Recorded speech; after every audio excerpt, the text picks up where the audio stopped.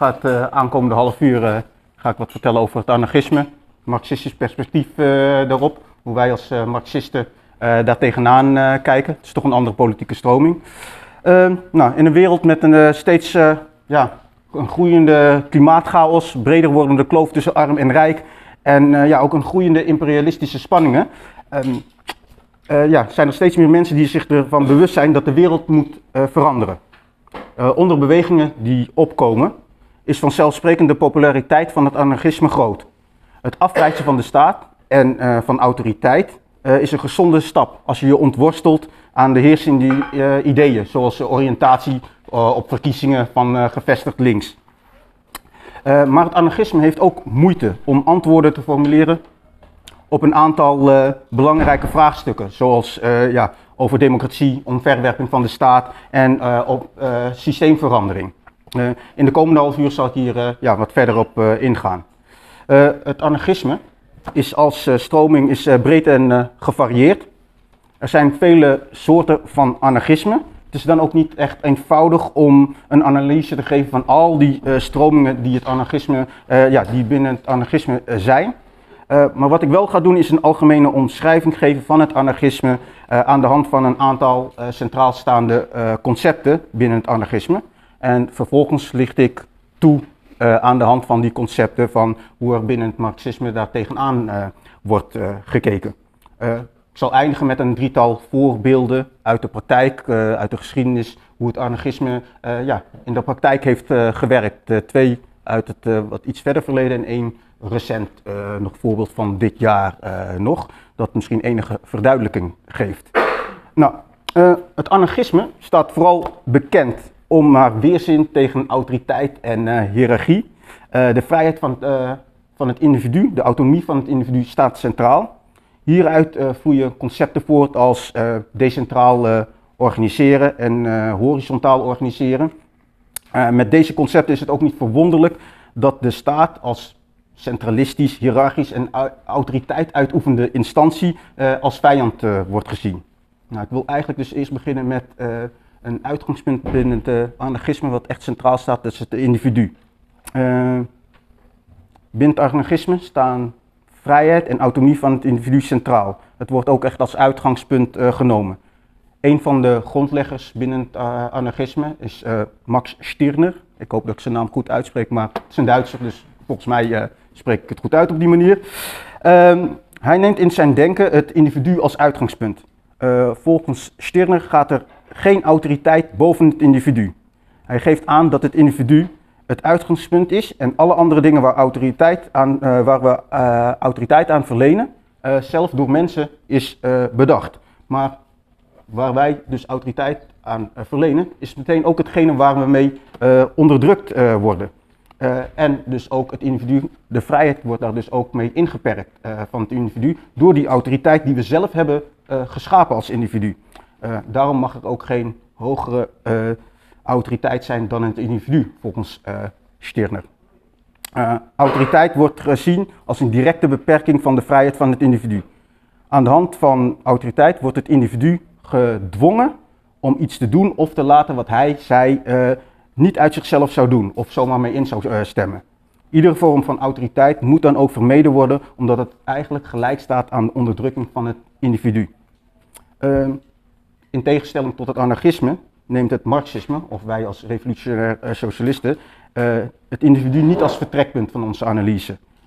wij nemen als vertrekpunt nemen wij de klassentegenstelling uh, daar beginnen wij eigenlijk mee. Dus dat is wel echt een verschil. Het gaat om een, ja, het gaat om een klassenstrijd tussen de bourgeoisie slash heersende klasse tegenover, de, ja, de tegenover de werkende klasse die uitgebuit en onderdrukt wordt. Vrijheid van uitbuiting en onderdrukking wordt dus verkregen door de klassentegenstelling op te lossen in het voordeel van de werkende klasse. De strijd is er dus één van strijd tussen klassen en niet een strijd van losstaande individuen, waar het anarchisme veel meer nadruk uh, op legt. Dus ik zeg niet dat anarchisme helemaal niet heeft over een, uh, een werkende klasse, maar de, ja, de focus is daar veel minder op ten opzichte van hoe ja, Marxisten daar eigenlijk naar uitkijken, omdat het vertrekpunt dus ook gewoon echt anders is. Dan wilde ik eigenlijk overgaan naar ja, naar centralisme en organisatie, hoe anarchisten daar tegen kijken. gezien hoe binnen het anarchisme naar het individu wordt gekeken, heeft dat direct het gevolg hoe er binnen het anarchisme georganiseerd wordt. Het uitgangspunt binnen anarchisme in zaken het individu leidt ertoe dat anarchisten een afkeer hebben van uh, centralisme en leiding geven. Uh, centralisme betekent zoiets dat, als vanuit een, dat er vanuit een centraal punt georganiseerd wordt. Uh, dit zou dus een autoriteitsverhouding betekenen tussen het centrum en de decentrale delen. dat gaat, deze gedachte botst met het uitgangspunt dat het individu centraal staat en er zo weinig mogelijk autoriteit boven dat individu geduld moet worden. beslissingsbevoegdheid binnen het anarchisme moet zo decentraal mogelijk zijn en dus zo dicht mogelijk bij het individu liggen uh, om de vrijheid en autonomie van het individu zoveel mogelijk uh, te garanderen. Het hebben, van, het, hebben van het, het hebben en het organiseren van een partij of een politieke organisatie die voorop gaat in de strijd, in het vormen van een beweging, wordt dan ook ja, min of meer afgewezen binnen het anarchisme. binnen het anarchisme is de besluitvorming eigenlijk ook bijna altijd gebaseerd op consensus. Het is op een consensusbasis. Vanuit het uitgangspunt dat het individu het hoogste goed is, kan besluitvorming eigenlijk ook alleen maar plaatsvinden op basis van consensus. Uh, in, het in, het geval van consensus betekent het dat ieder deelnemende individu uh, toestemming heeft gegeven aan het genomen besluit. Ieder ander besluit, zoals bijvoorbeeld een meerderheidsbesluit, wordt, ja, wordt binnen het anarchisme gezien als onderdrukking van het uh, individu door de meerderheid. Het individu heeft namelijk niet ingestemd met de, met de meerderheidsbesluit. Zelfs niet als het meerderheidsbesluit democratisch is genomen, wordt dat nog steeds gezien als uh, ja, uh, een meerderheid die de wil eigenlijk oplicht aan het individu. dus binnen het anarchisme is die consensusbesluitvorming heel erg belangrijk. Ieder individu moet er gewoon mee ingestemd hebben. nou, aan, dat, uh, aan, die, uh, aan die consensusbesluitvorming, daar, kleven natuurlijk hele grote nadelen, bezwaren kleven eraan vast. zeker vanuit marxistisch perspectief. Als je kijkt naar, um, ja, bij consensusbesluitvorming, zo'n dergelijke besluitvorming, um, ja, de, de vraag wordt eigenlijk bij zo'n consensusbesluitvorming wordt niet de vraag gesteld van wat is er nodig om de strijd te winnen. Uh, dat soort innovatieve en vergaande vragen, ja, die vinden meestal weerstand. En ja, als je een groep van tien mensen hebt, hoeft er maar eentje tegen te zijn. En dat gaat het eigenlijk al niet door. Uh, dus uh, innovatieve, innovatieve en vooruitstrevende beslissingen, ja, worden meestal niet genomen met een consensusbesluitvorming. Want dat is inherent aan vooruitstrevende en progressieve en strijdbare ideeën. Dat, ja, die ondervinden weerstand daarin. Um, bij besluitvorming op basis van consensusvorming en men blijft toch van mening uh, verschillen, dan kan men eigenlijk alleen maar de besluitvorming blokkeren, zwijgen of zich terugtrekken. Het leidt daarmee eigenlijk dus ook niet tot effectieve besluiten. Uh, het kan zelfs nog een stapje erger. Uh, het leidt zelfs soms tot helemaal geen besluiten nemen. Het is bijna onmogelijk om bij grote groepen ja, consensus te bereiken. het is makkelijker om iets te stoppen dan om iets op te starten bij een discussie. En ja, dat is eh, bijna inherent eigenlijk aan uh, de consensusbesluitvorming.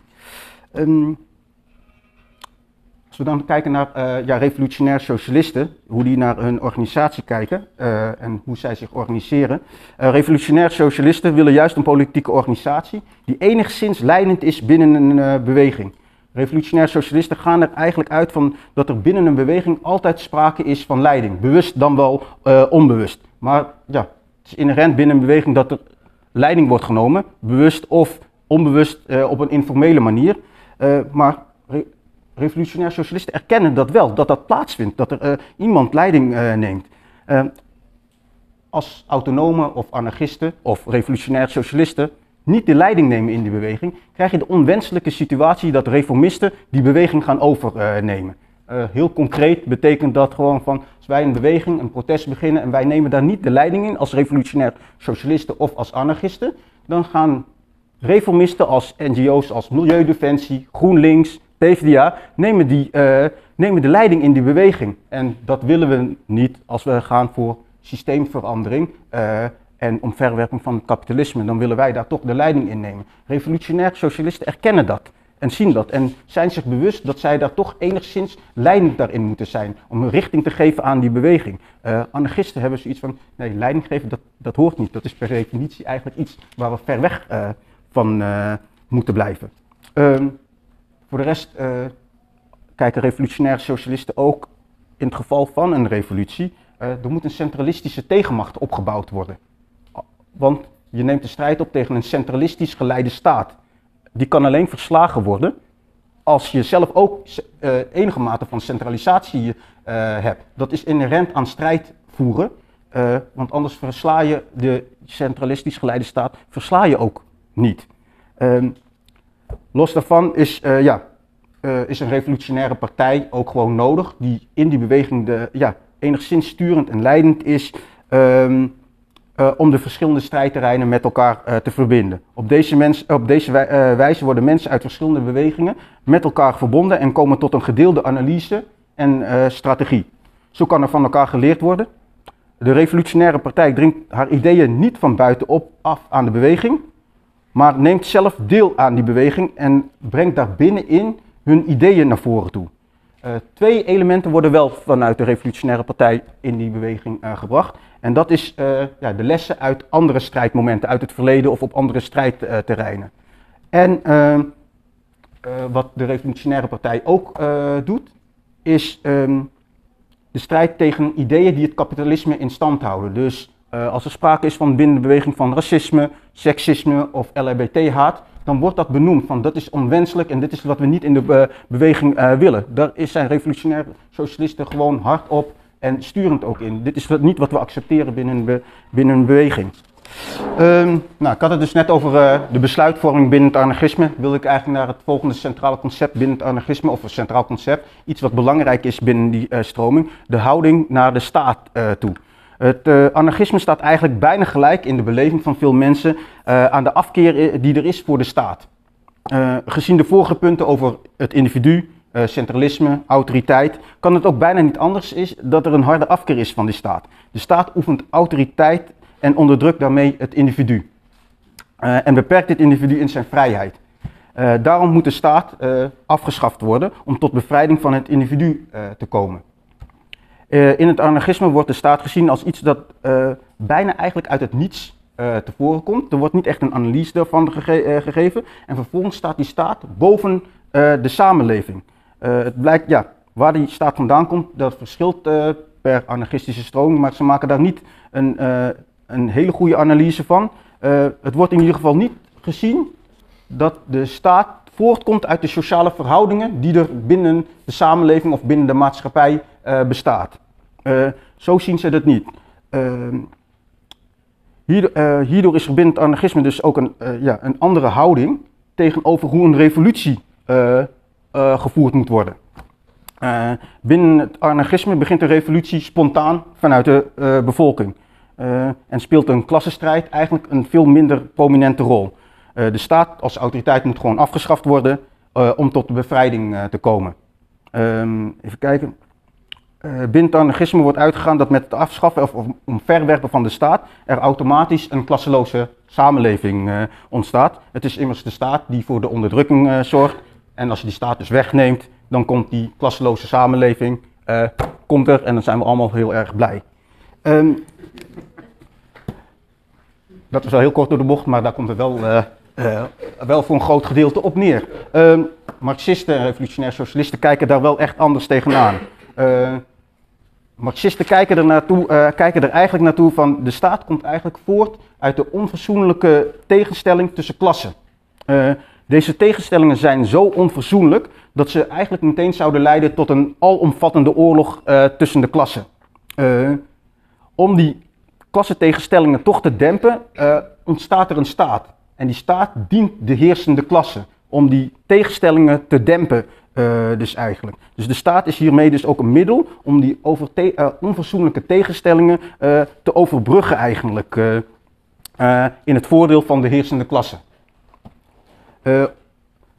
omdat de staat dus voorkomt uit ja, de onverzoenlijke tegenstelling van klassen, of dus eigenlijk uit die sociale verhoudingen, waar anarchisten dus niets mee hebben in hun analyse, vinden Marxisten en sociaal revolutionair socialisten dat eerst die klassentegenstelling opgelost moet worden.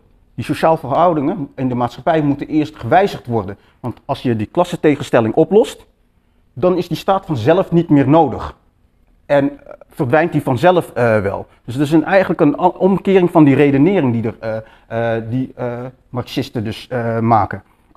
Um, dus eerst moet die klassentegenstelling moet opgelost worden. En dat betekent dus eigenlijk gewoon dat we af moeten van die heersende klasse. En er moeten ervoor zorgen dat die niet meer terugkomt. als er dan maar één klasse is, heb je ook geen klassentegenstelling meer. En is er ook geen staat meer nodig voor die onderdrukking. En verdwijnt die staat vanzelf wel.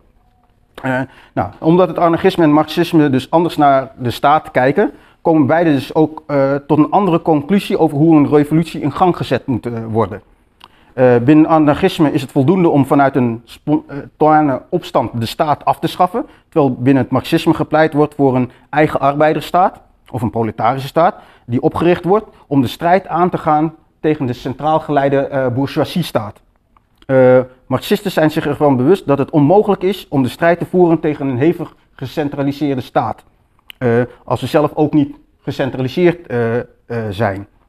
Um, en vervolgens is het die, als we die staat hebben, omver hebben geworpen, hebben we nog steeds die arbeidersstaat in het begin nodig om de contra-revolutie neer te slaan. Omdat die, dat is die sociale verhouding die eerst weg moet genomen moet worden. Die klassentegenstelling. Want ja, uit het verleden blijkt wel, je kan wel de heersende klasse weg verslaan, maar die zal altijd proberen om terug te komen. het is dus belangrijk om ja, dat eerst weg te werken en de contra-revolutie neer te slaan. Um, dan wilde ik iets zeggen over bewustzijn. hoe, daar, hoe, dat, hoe dat concept werkt binnen het anarchisme en hoe Marxisten er naartoe kijken, daar tegenaan kijken. Impliciet wordt er binnen het anarchisme van uitgegaan dat het bewustzijn van mensen op een bepaald moment uh, grootschalig en gelijkmatig verdeeld is. In andere woorden betekent het eigenlijk dat er van uh, uit wordt gegaan dat op een bepaald moment er spontaan een revolutie ontstaat, omdat een grote, moment, op een, grote groep mensen zich opeens bewust is van hun onderdrukking en besluit om tot een revolutie over te gaan. Ehm, hierop aansluitend wordt bewustwording binnen. Oh, ik heb nog 10 minuten. Dus ga ik nog even snel, want ik wil de voorbeelden ook nog even doen. Uh, hierop aansluitend wordt binnen het anarchisme gezien, uh, ja, uh, wordt bewustwording binnen het anarchisme wordt ook eh, gezien als iets van bewustwording ge gebeurt bij mensen door het goede voorbeeld maar te geven.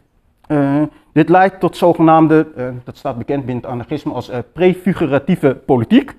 klinkt heel moeilijk, is het niet.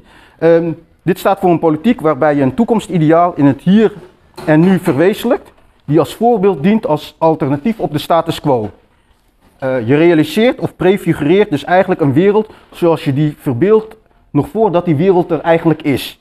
Uh, we zien dit uh, binnen het anarchisme in het creëren van autonome gemeenschappen. In deze autonome gemeenschappen wordt de ideale samenleving in het klein gecreëerd binnen een grotere, onwenselijk kapitalistisch systeem. Er wordt dan vanuit gegaan dat een goed voorbeeld doet volgen. Met andere woorden, als we laten zien hoe het moet, dan volgen mensen vanzelf wel. Dat is hoe er binnen het anarchisme wordt gekeken naar bewustwording. Uh, het beïnvloeden van uh, het bewustzijn van mensen binnen het anarchisme gaat dus door middel van het goede voorbeeld geven uh, en het aanbieden van een alternatief binnen dit systeem. dat betekent echter ook dat er binnen het anarchisme propaganda en bewustwording veel minder plaatsvindt door het stellen van politieke eisen en het strijden voor kleine verbeteringen voor de werkende klasse. Het stellen van eisen wordt binnen het anarchisme dan ook vaak gezien als iets ja, reformistisch. Uh, het, uh, ja, je krijgt dan redeneringen uh, als ja, het eisen van een 5% loonsverhoging is eigenlijk een erkenning van het kapitalistisch loonsysteem. en daar, daar willen anarchisten eigenlijk niet aan beginnen. Marxisten daarentegen zijn zich bewust ervan dat het bewustzijn onder mensen ongelijkelijk is verdeeld in de maatschappij.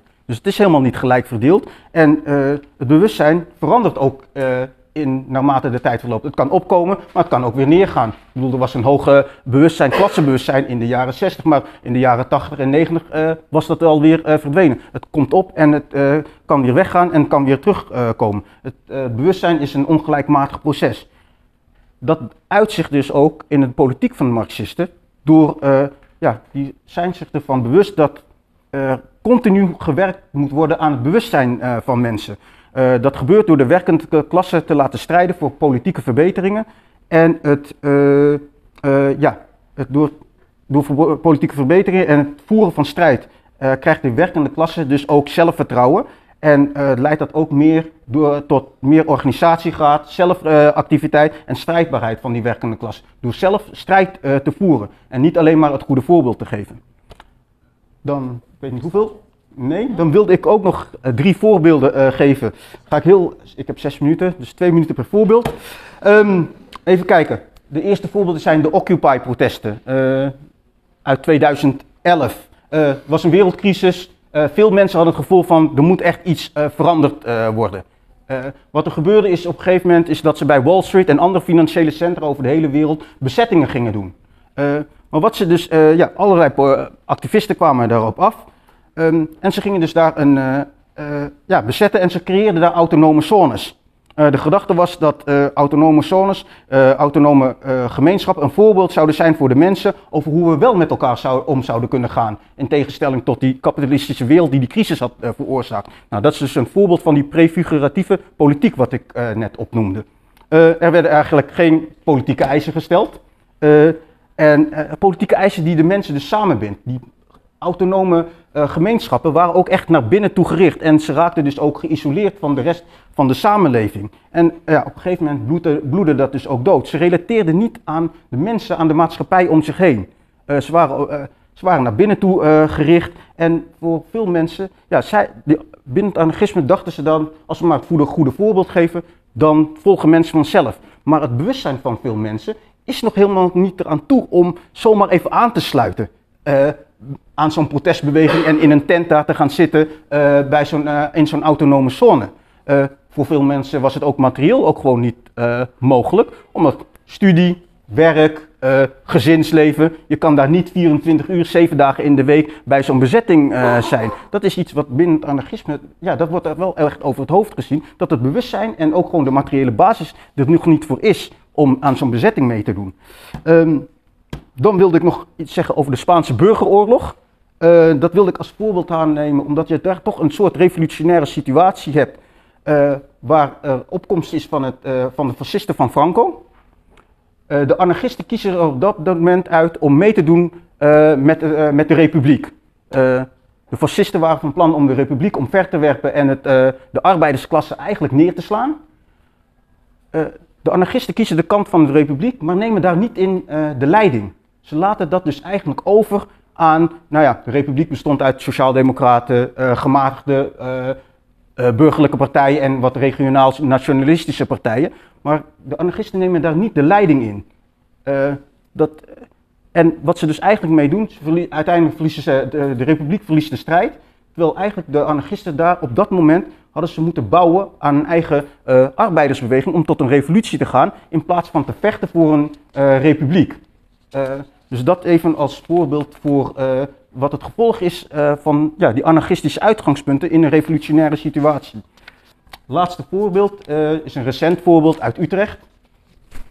We hadden daar, we hebben Utrecht hier in de zaal. Um, we hadden een uh, antiracistisch uh, antiracisme protest, een antifascisme protest hadden we daar uh, in Utrecht. dat was opgezet door een coalitie van meerdere organisaties. De anarchisten droegen eigenlijk bijna niets bij aan de opbouw van de coalitie, maar namen wel deel uit aan het protest. Hier zie je ook weer aan dat anarchisten niet de focus hebben bij het opbouwen van een beweging. Ze willen wel meedoen met het protest, maar het opbouwen van een coalitie om op lange termijn iets te kunnen bouwen aan een beweging, ja, daar ligt hun prioriteit dus ook niet. hun prioriteit ligt daar niet. tijdens het protest, toen we gingen lopen, ik was daarbij bij dat protest, uh, keren de anarchisten zich openlijk tegen GroenLinks. Terwijl het GroenLinks was die die coalitie mede had opgebouwd. Die had daar een centrale rol uh, in. Uh, het werd GroenLinks verweten, openlijk verweten, dat ze niet links zijn en niet groen, maar neoliberaal. En dat kan op een bepaald aantal punten kan dat wel waard zijn, maar tegelijkertijd is dat wel tijdens het protest het wegzetten van een bondgenoot in, het, in een antifascistisch front dat we dan op dat moment hebben. Ehm, Nou, het anarchisme heeft dus per definitie eigenlijk eh, de neiging om sectarisch te zijn. Ehm, waar ze dus eigenlijk niet bezig zijn met het opbouwen van een eh, beweging als tegenmacht. En eh, ze eigenlijk niks hebben met ja, reformis reformistische eisen als voor 5% loonsverhoging. Ehm, en Marxisten zien dergelijke eisen, hoe reform reformistisch ze ook zijn, als een opstap naar een opbouwen van een beweging. Want Marxisten zijn zich van bewust, niet iedereen is even ver in dat bewustzijn. Dus voor sommige mensen is die 5% loonsverhoging al een goede stap. En het is dan door die strijd, die overwinning, misschien eh, wordt er 5% binnengehaald, waardoor die werkende klasse dus wel zelfvertrouwen krijgt en misschien een volgende stap uh, uh, gaat zetten. Maar terug naar dat protest. ja, door die houding van die anarchisten lijkt het er dus nu sterk op dat GroenLinks zich misschien gaat terugtrekken uit die coalitie tegen het fascisme. En wat eigenlijk ja, in de praktijk op neerkomt, een verzwakking dus eigenlijk van de beweging, van het front dat we hebben gevormd tegen uh, antifascisten. Dat is dus wel een gevolg van ja, die anarchistische uitgangspunten die er uh, zijn. Um, komt nu een einde, wil ik eraan aan. Het anarchisme lijkt dus op het eerste gezicht aantrekkelijk. het is anticapitalistisch en er is een rigoureuze afwijzing van de staat. Maar zoals ik hopelijk duidelijk heb kunnen maken, uh, kleven er wel onoverkomelijke bezwaren aan het anarchisme als we het hebben over omverwerping uh, van het kapitalisme. Dank u wel voor jullie aandacht.